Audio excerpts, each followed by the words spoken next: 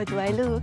Like a picnic tablecloth and an old couch decided to have a baby and birthed those Crocs.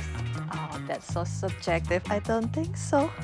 I was attracted to join in this show because I was rejected in my past interview in like a skin clinic.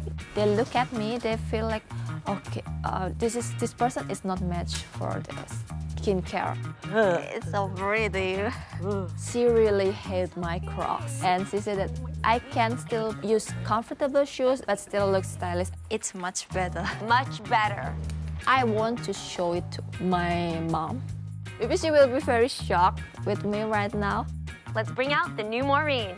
Maureen! Maureen!